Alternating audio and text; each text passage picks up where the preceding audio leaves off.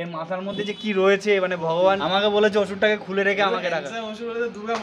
Hello guys আর তোমাদের সঙ্গে আবার নতুন কোনো ভিডিও নিয়ে চলে এসেছি কিন্তু ভিডিওটা কি হবে কোনো ঠিক নেই কি বলব তাও ঠিক নেই।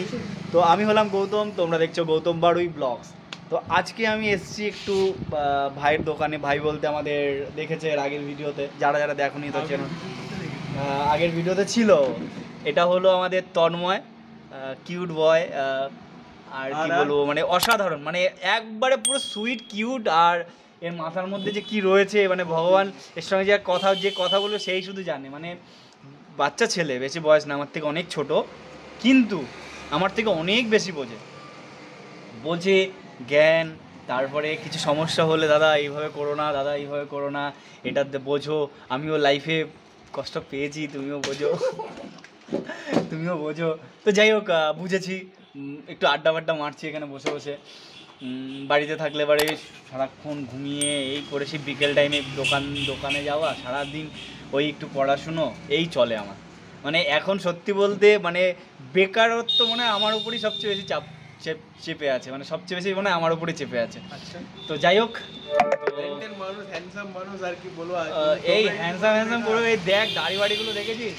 দাড়িগুলো দেখ দাড়ি চুল চুলটা চুলটা এই সামনে দুর্গাপুজোর ওষুধ আসছে না আমাকে বলেছে ওষুধটাকে খুলে রেখে আমাকে রাখা দুর্গা মারবেই না। মানে আমাকে আমাকে বসাবে আমাকে বলেছে তোমাকে বসিয়ে দেবো ওইখানে বসিয়ে দেবো তুমি শুধু জাস্ট চোখটা নোংরা এরকম এরকম করে তাকিয়ে থাকবে।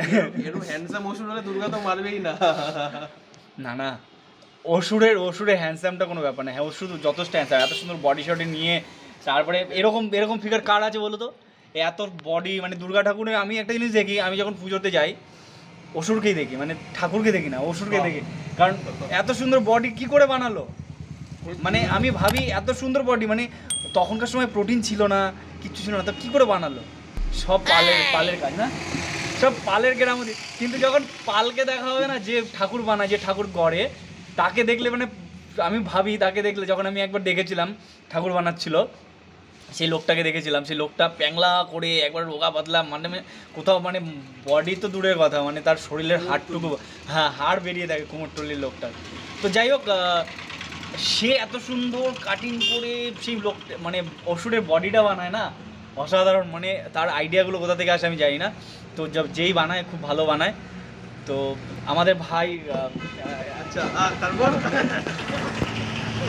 কি ব্লগ বানাচ্ছে আমি নিজেও জানি না। তো কথা বলার জন্যই ব্লগ আর কথা বলার জন্য ব্লগ কী সব বলছে? কথা বলার জন্য ব্লগ যাই কথা বলার জন্য। মানে তোমাদের সঙ্গে আড্ডা মারবো, তো ব্লগের মাধ্যমে মারি। কারণ আমি এই দেখো কি পুরোটা চলে এসেছি, ভেবেছিলাম জিমে যাব। তো জিমে তো আর যাওয়া হলো না। যাওয়ার সময় একটা কাজ করতে এসেছিলাম, তো ভাইয়ের সঙ্গে দেখা হয়ে গেল। ভাই ডাকলো, বলল, দাদা, একটু আসছো অনেকদিন কথাবার্তা হয় না। তো আমি বললাম, ঠিক আছে, চল, একটু আড্ডা মারি। আর একটা কাজ হয়েছে ওর, এখানে এসে আমার একটা ভালো কাজ হয়েছে। আমার নেট ইস্যু তো থাকেই ভিডিও আপলোড ঠিকঠাক করে দিতে পারি না এই নেটের জন্য। তো ওর এখানে ওয়াইফাই রয়েছে। তো বলল, দাদা, তুমি আমার ওয়াইফাইটা ইউজ করো ইউজ করে ভিডিও ছাড়ো। তো আমি ফেসবুকে অলরেডি ভিডিও ছেড়ে দিয়েছি। তো ফেসবুকে যেটা আমার ফেসবুক পেজ রয়েছে, সেখানেও তোমরা যেতে পারো, আমাকে ফেসবুকে ফলো করো। হ্যাঁ? ফেসবুকে ফলো করো, গৌতম বাড়ি ব্লগস বলেই ফেসবুকের পেজ রয়েছে। আর গৌতম বাড়ি বলে ফেসবুকে আমার আইডি রয়েছে। তোমরা যাও ফলো করো। আজকে আর বেশি বকবো ফলো হ্যাঁ, আজকে আর বেশি বকবো না। জাস্ট একটা ছোট্ট একটা ব্লগ বানালাম। এটা জাস্ট এইটুকুনি মজার ছিল। তো যাই ভিডিও ভালো লাগলে অবশ্যই লাইক করে দেবে শেয়ার করে দেবে। আর যদি আমার চ্যানেলে নতুন হও তাহলে একটা সাবস্ক্রাইব করে যাবে। বাই